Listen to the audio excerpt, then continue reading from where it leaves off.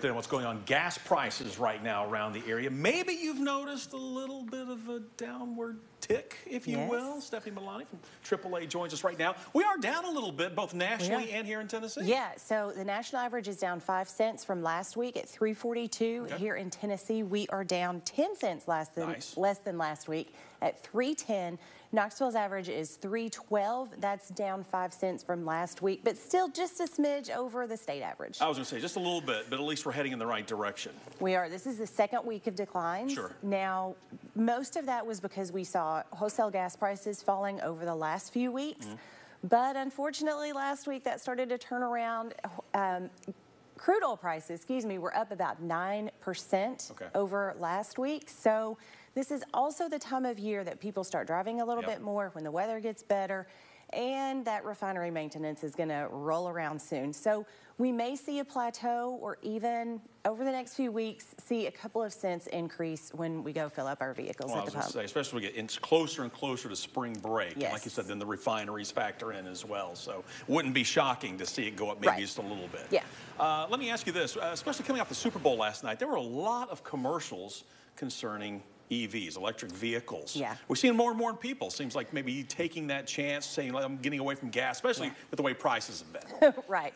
So that's one thing that you want to consider the upfront cost, but also that cost of ownership through the life of the vehicle. Mm-hmm. So we know, you know, you look at a Tesla, there are some electric vehicles, and, you know, the big name is Tesla. Sure. You can see some of those that are similarly priced to you know their gas counterpart but on average you're going to pay more upfront for an electric vehicle. Now i know there was a lot in the news about some of those manufacturers cutting prices at the end of the year. There are also tax credits that you can get to Right. kind of decrease that gap.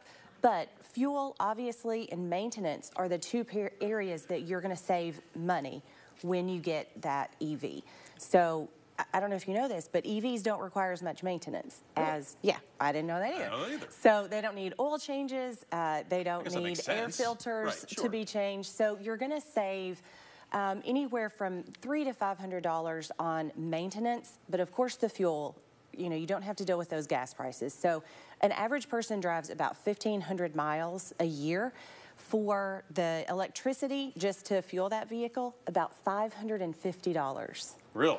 Yeah. Wow. But, Gas? Of course, of course, I know for a lot of people the concern is, is those stations, are they going to be in spots where I'm not going to run out of juice, for lack of a better range expression? anxiety. Yeah, yes. right.